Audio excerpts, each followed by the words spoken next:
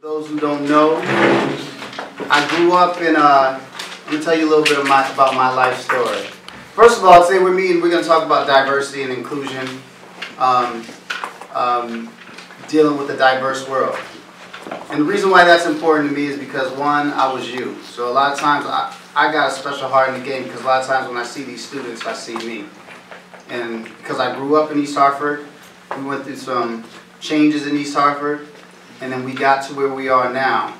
And um, I think that uh, if enough of us do the things we are, do, do the things we do and represent the way that we are, we can influence and make positive change.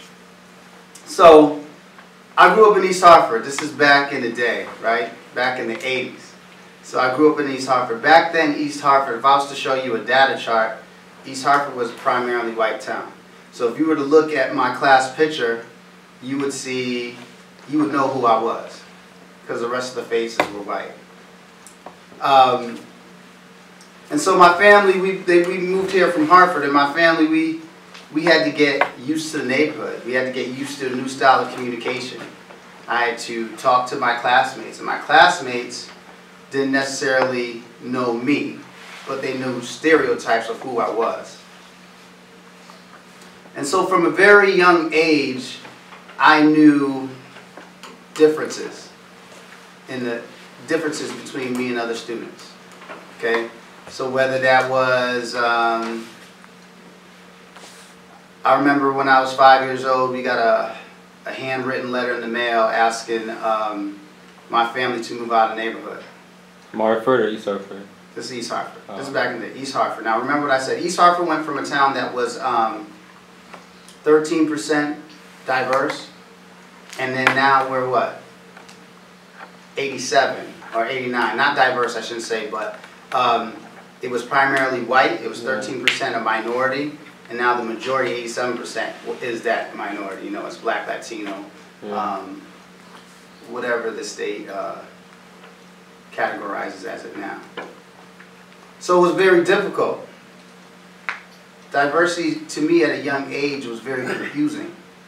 It was hard for me because I had these thoughts and I had these emotions about the world that was going on around me, but I had no outlet. I didn't know what to do with it. It was very frustrating. Then right around um, the late 80s, early 90s, Burnside Avenue, they built um, some low-income housing over there, right? And then that's when the integration began. So now it wasn't just me in my class. If you look at my middle school picture, it looks like it looks like this.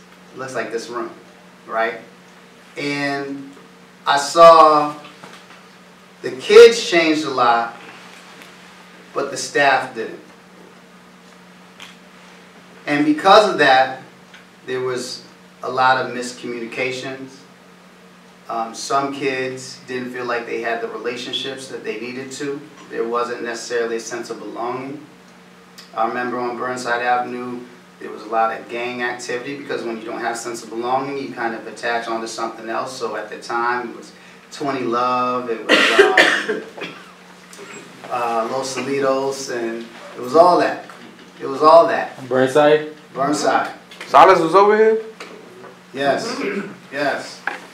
It was hot.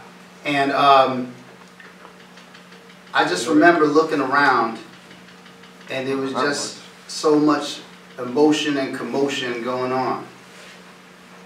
And it was small things. You know, I think everybody's intent was good.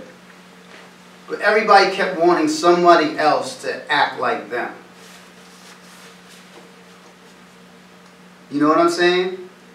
Everybody wants somebody so the so the teachers with people who weren't from the area where they're from and it wasn't all teachers but they wanted the students to behave like how they think they should behave.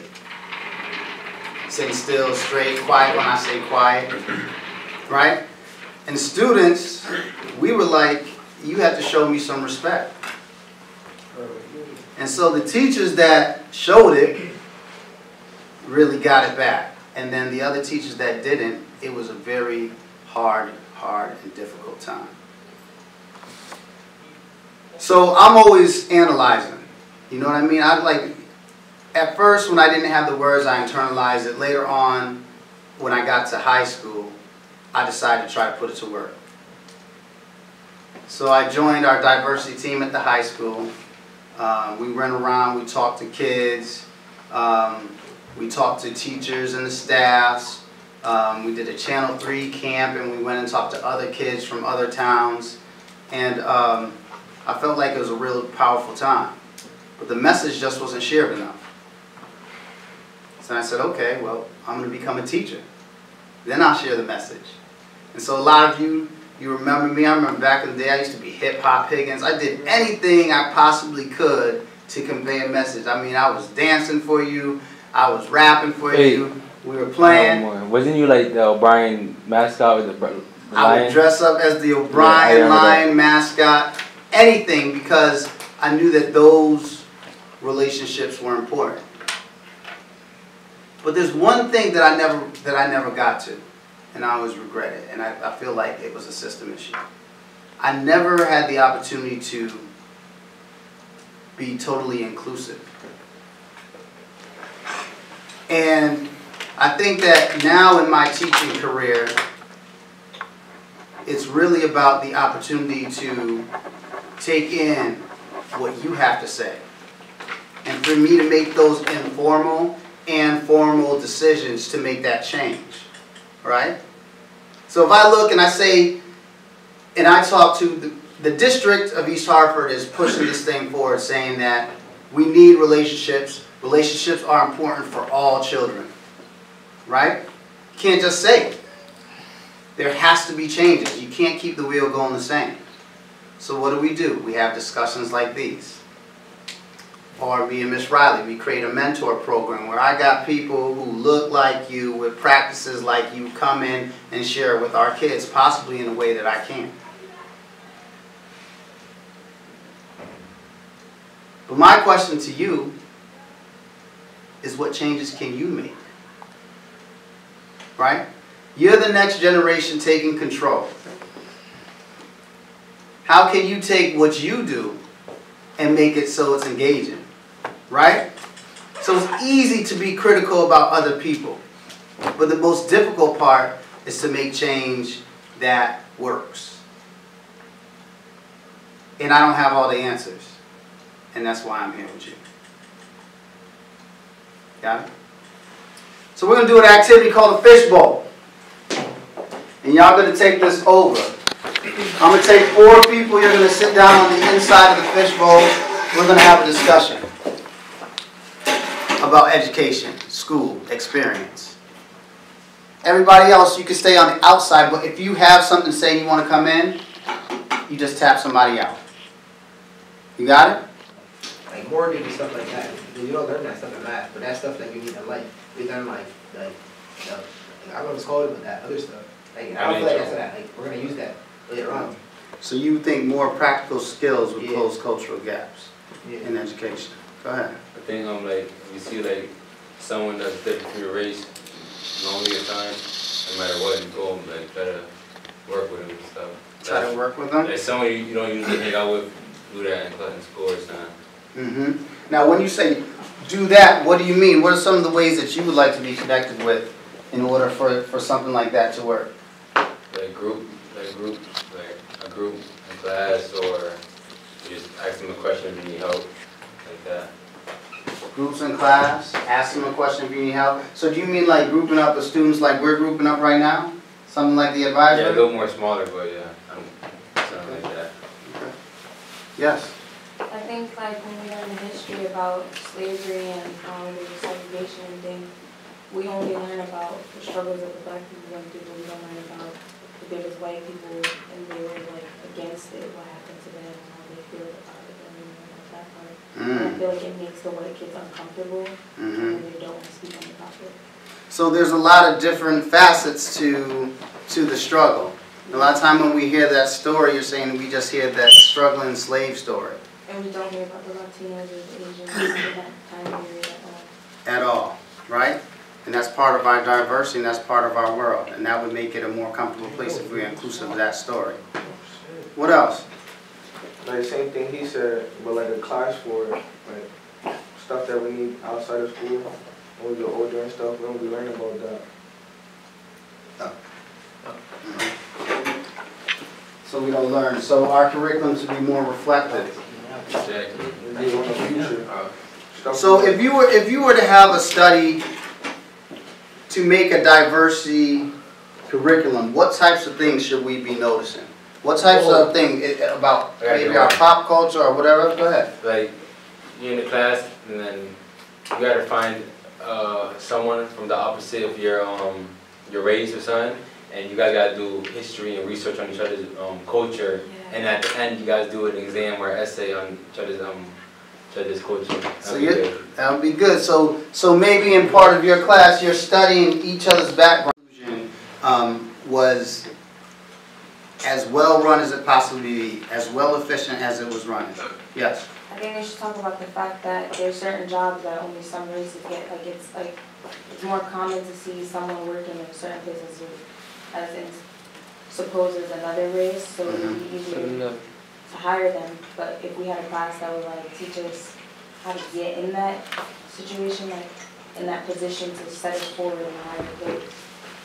Mhm. Now, sometimes there's still, there's still like racism around today, I mean, so, so like, there's still like, there's still black versus white that I, that I be seeing, like, me, me personally, so sometimes, like, to make, to make everybody unite, sometimes it's like, you gotta, like, say you, you got like a group of white kids, Yeah. like, strictly have them, like, study about what happened to the blacks in the group of blacks, because there's still racism around, study, like, strictly for whites and then, so they can actually learn about what really happened and not just have some hate. They're So I think you have a point in that, right? So if we have, we call it, we, we call it deficit thinking, right? If we have deficit thinking where, where there's an underlying issue to the discussion and we never talk about it, we never talk about that race matters in some situations, Yeah. then that issue is always gonna be there, sitting there on the table. So it's to be able to talk about that, and I like the way that y'all are doing it, because it's in considerate ways, right? It's not just throwing it into somebody's face saying, hey, this, hey, that. It's more about the content, the knowledge, this is what we've gone through. Let me share it with you. Now I really want to know what you've gone through. Now let's take a test on each other and see if we really have retained what each other's gone through. And then once you're on that, that same ground, you can build from there, right? You have anything to say? I mean, my shit follow along with what he said about the math. They be teaching us, teaching us, teaching us this algebra. We're not gonna use this later. You feel me? Mm-hmm. I know we're not gonna use it. All that x plus this.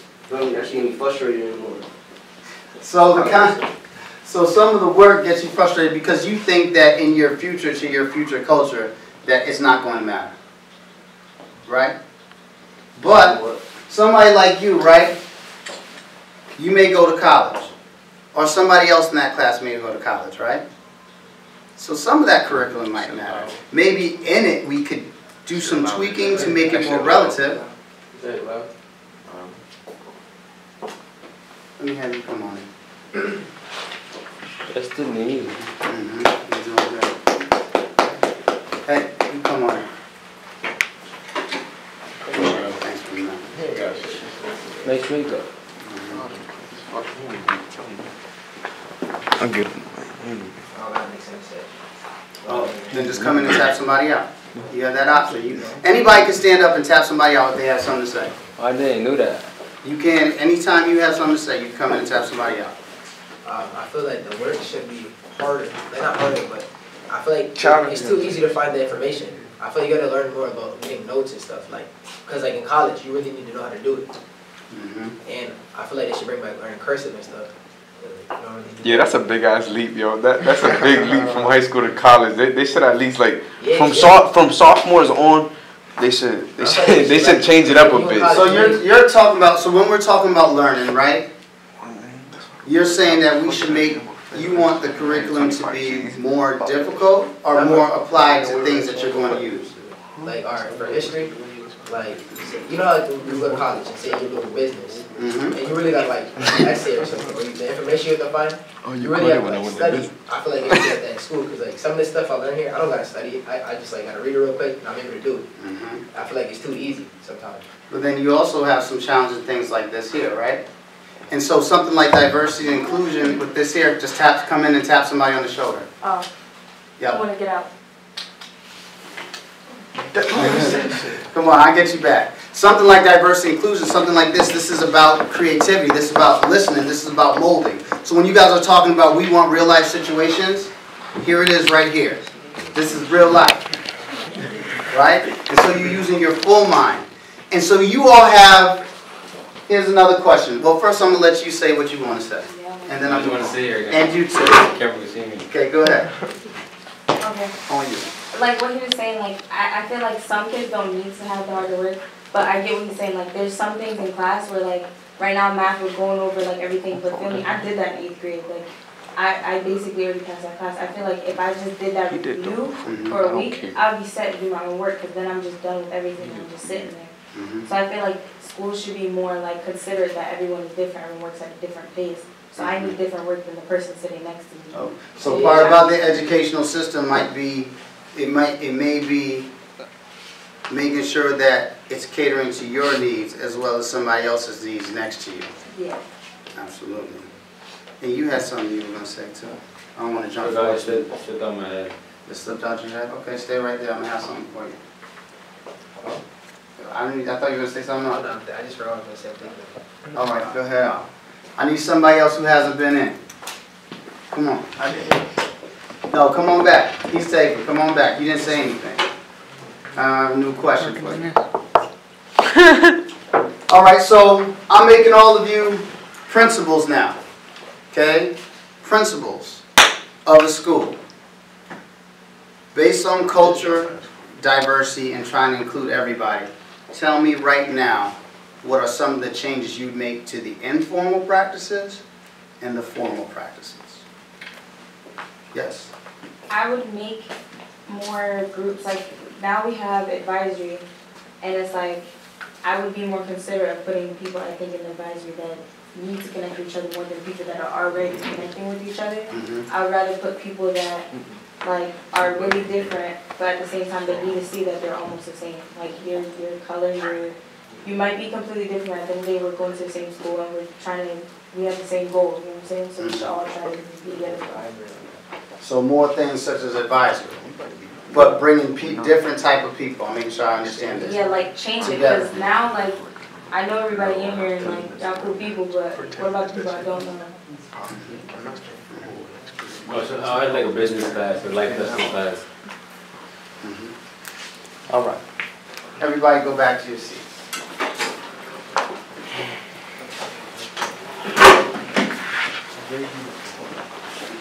Alright, so about diversity and inclusion is one, it goes below the surface level, right? So normally when we see each other, we say hello, hi, how are you doing?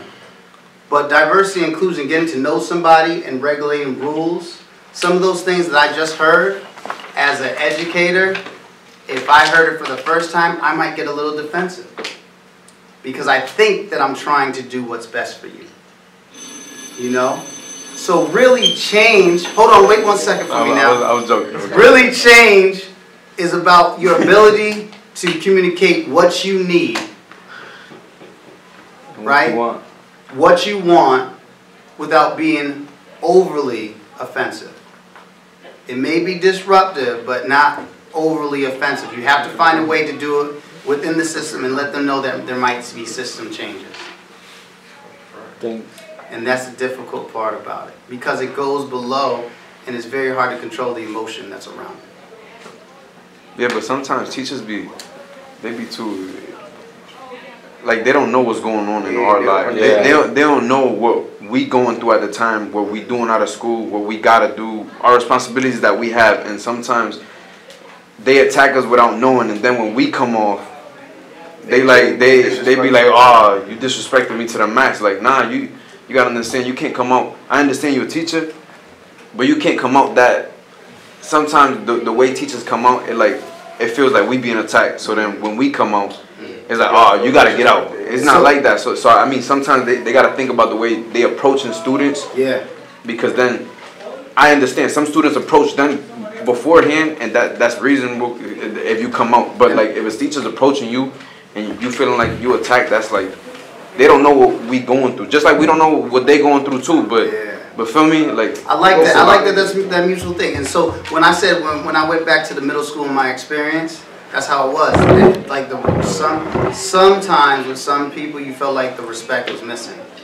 But what I really took into consideration with that is what can I do.